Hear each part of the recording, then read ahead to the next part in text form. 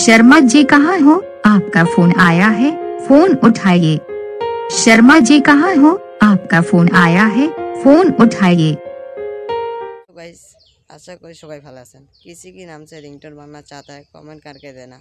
और सबसे पहले न्यू अपडेट पाने के लिए बेल आइकन दबा देना